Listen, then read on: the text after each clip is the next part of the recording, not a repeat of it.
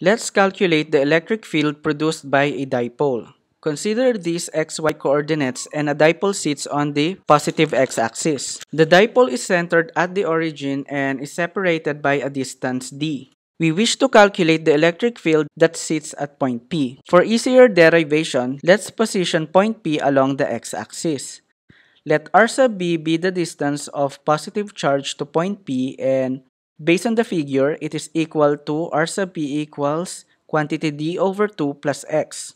Also, let r sub n be the distance of the negative charge to point P and based on the figure, it is equal to r sub n equals quantity x minus d over 2. The vector sum of the electric field at point P is E sub positive plus E sub minus. E equals 1 over 4 pi epsilon naught absolute value of positive charge divided by quantity x plus d over 2 squared x hat plus the absolute value of negative charge divided by x minus d over 2 squared quantity negative x hat. This is negative because the electric field generated by negative charge points to the left. Extracting the common terms, electric field is equal to charge divided by 4 pi epsilon naught quantity 1 over x plus d over 2 squared minus 1 over x minus d over 2 squared. And let's multiply this entire equation with 1, which is 1 over x squared divided by 1 over x squared, x hat. Then we end up with electric field equals q over 4 pi epsilon naught times 1 over x squared quantity 1 over 1 plus d over x squared minus 1 over d 1 minus d over 2x squared. Now if we bring these terms up on the numerator, we'll end up with electric field equals q over 4 pi epsilon naught 1 over x squared quantity 1 plus d over 2x raised to negative 2 minus 1 minus d over 2x quantity raised to negative 2. Before we proceed, let me rewrite this power series that converges for absolute value of x less than 1.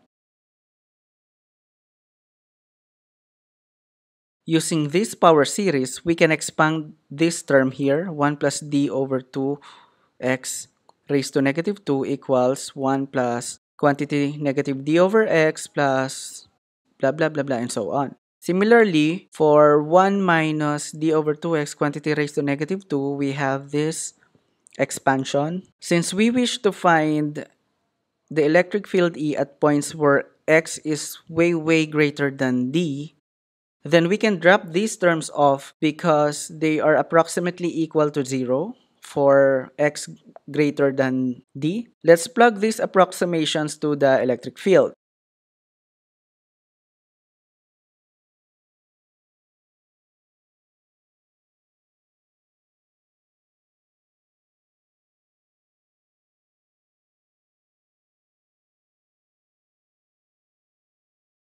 Now, this factor charge times d shows up in many calculations involving electric dipole.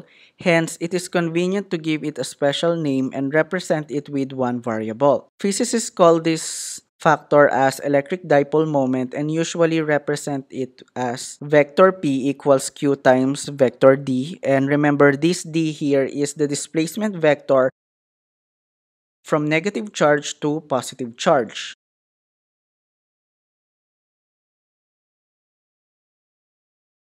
Using this concept of electric dipole moment, our previous equation becomes electric field equals P over 2 pi epsilon naught times 1 over x cubed multiplied to the direction which is negative x hat.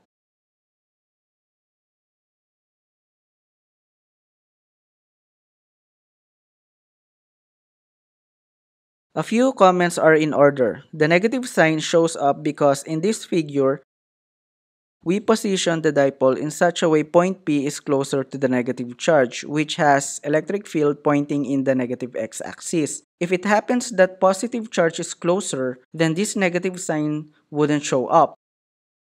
Also, when point P is along the axis that coincides with D or the vector displacement D, electric field dies off at 1 over r cubed rate.